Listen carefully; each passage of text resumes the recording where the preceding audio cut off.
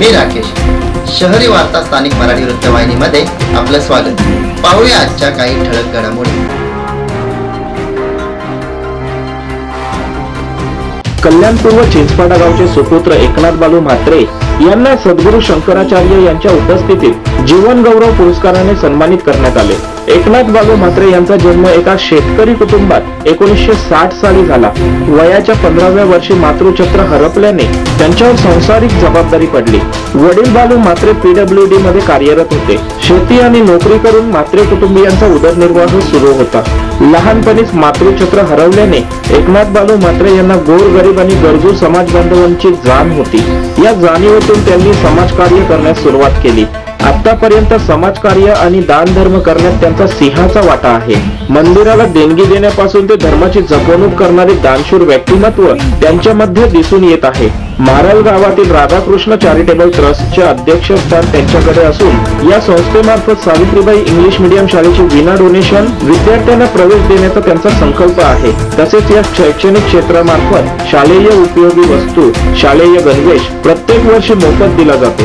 याचबरोबर इतरही शैक्षणिक संस्थांना ते सडल हाताने मदत करतात. त्यांचं शिक्षण जरी सहावी पर्यंत झालं असलं तरी आज त्यांनी शैक्षणिक क्षेत्रामध्ये नावलौकिक कामगिरी केल्याचे पाहावयास मिळते. समाजकार्याच्या आवडीबरोबरच त्यांचा आध्यात्मिक कार्याचा प्रवास दांडगा आहे. त्यामुळेच त्यांच्या कार्याचा गौरव सद्गुरू शंकराचार्य यांचे प्रचारक हबप नामदेव महाराज हरण यांनी जगद्गुरू शंकराचार्य यांच्या उपस्थितीत नुकताच जीवनगौरव पुरस्कार देऊन गौरव केला. समाजकार्याचा वसा त्यांचे पाच सुपुत्र देखील चालवत आहेत. आपण धन्य झाल्याचं एकनाथ बालू म्हात्रे यांनी सांगितलं.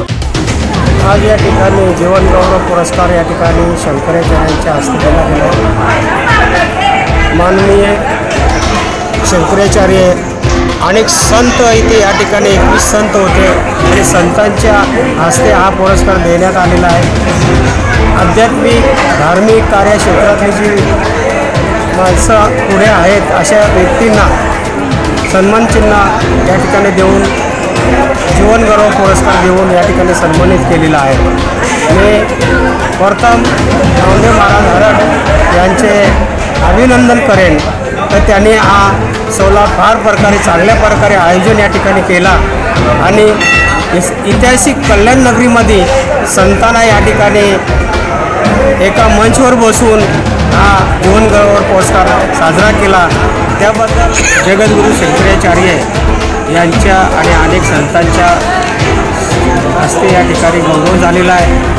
मी असं मानतो की माझ्या आईवडिलांची पुण्यही आहे. आणि नामदेव महाराज हराट यांनी हा गौरव सोहळा घडवून आणला. हा माझ्या जीवनात प्रथम गौरव सोहळा आहे. आणि असा गौरव माझा कधी झालेला नाही.